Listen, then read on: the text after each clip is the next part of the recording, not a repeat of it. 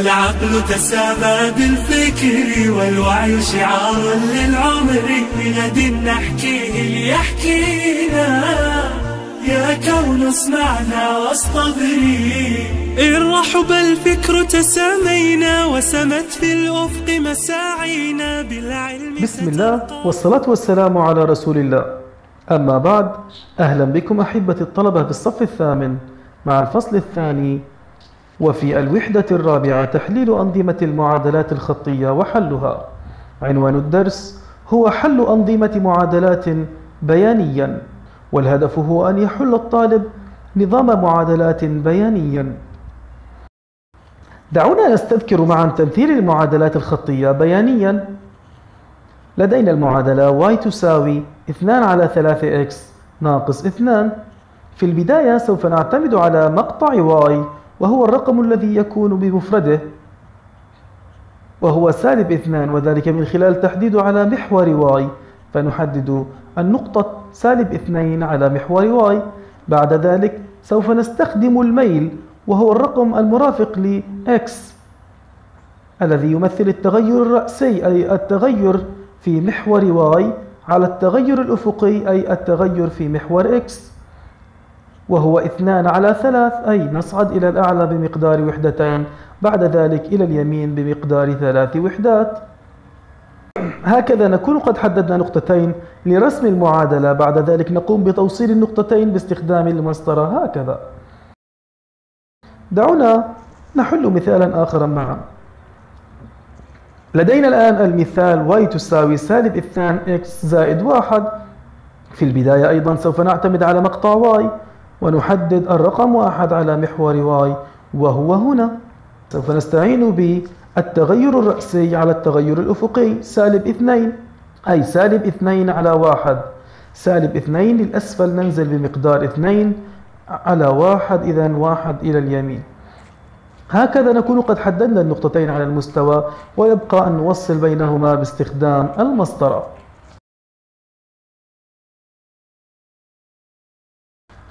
أحبتي الطلبة إذا كان نظام المعادلات يتقاطع في نقطة واحدة فإن النظام له حل واحد وهو النقطة التي تقاطع فيها المستقيمين وهي هنا سالب اثنين وواحد. بينما إذا كان النظام رسمة معادلة واحدة فهذا يعني أنها تقع كل النقاط على نفس المستقيم ويوجد عدد لا نهائي من الحلول. والحالة الأخيرة هي أن يكون والحالة الأخيرة هي أن يكون المستقيمان متوازيان أي لا توجد نقاط تقاطع بينهما ولا يوجد حل في هذه الحالة كما بالشكل هذا. دعونا الآن ننتقل إلى حل السؤال الأول. السؤال الأول حل نظام المعادلات التالي بيانيا. المعادلة الأولى y تساوي 3x زائد 1 والمعادلة الثانية y تساوي سالب 2x زائد 1 سوف نعتمد على مقطع y وهو العدد واحد هنا. فنقوم بتمثيل العدد واحد على محور y. بعد ذلك الميل هو ثلاثة أي أننا سوف نصعد إلى الأعلى بمقدار ثلاث وحدات ثم إلى اليمين بمقدار وحدة واحدة. والآن نقوم بتوصيل النقطتين. هذا هو تمثيل هذا المستقيم هو تمثيل المعادلة الأولى. بعد ذلك سوف نستعمل مقطع y في المعادلة الثانية وهو النقطة واحد. إلى الأسفل بمقدار وحدتين ثم إلى اليمين بمقدار وحدة واحدة.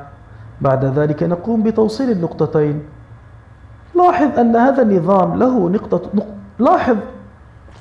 لاحظ أن هذا النظام له نقطة حل واحدة وهي النقطة صفر.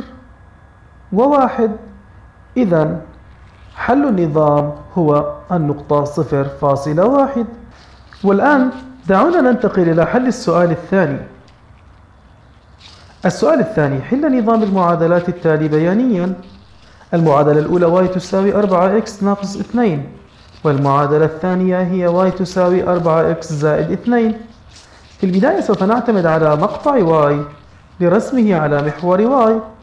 وذلك بتحديد النقطة سالب 2 على محور y ثم نعتمد على ميل المعادلة وهي 4 التغير الرأسي أربع وحدات إلى الأعلى بعد ذلك وحدة واحدة إلى اليمين. والآن نوصل بين النقطتين باستخدام المسطرة.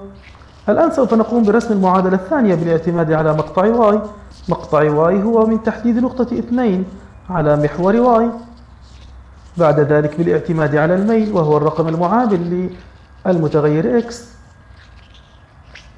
إلى الأعلى بمقدار أربعة وبعد ذلك إلى اليمين بمقدار واحد.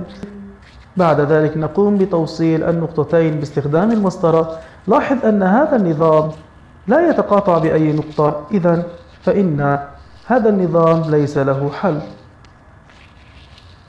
الآن دعونا ننتقل إلى السؤال الثالث.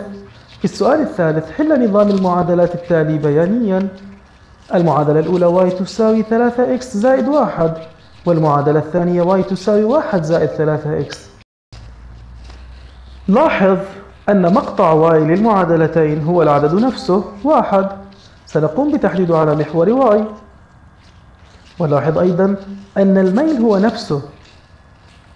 للأعلى ثلاث وحدات ثم إلى اليمين بمقدار وحدة واحدة. إذا المعادلتان متطابقتان.